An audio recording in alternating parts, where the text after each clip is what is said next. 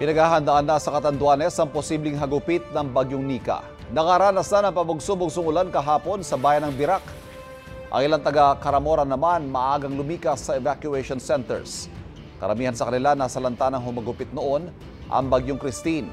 Sa Baras, binabantayan na ang landslide at flood-prone areas. Inilipat na rin ng mga residente roon ang mga bangka nila sa mataas na lugar dahil sa banta ng storm surge. Halos dalawang daang pasahero naman na papasok sana sa Catanduanes ang stranded sa Tabaco Port sa Albay. Nagrarasyon naman ng pagkain sa mga apektadong pasaherong lokal na pamahalaan ng Catanduanes.